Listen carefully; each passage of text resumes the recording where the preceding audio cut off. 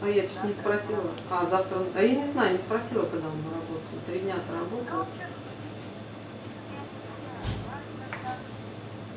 Ну, наверное, да, если он взял два выходных, то, скорее всего, он завтра на работу, потому что вчера он как бы был выходной, спал. Сегодня вот выходной.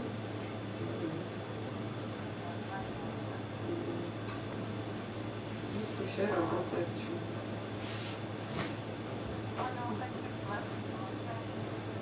Ну, в прошлый раз немножко дал, не всю сумму. Тут что-то, думала, две недели типа отработать. Посмотрим, как будет. Ну, пока получается. А что у меня, какие варианты?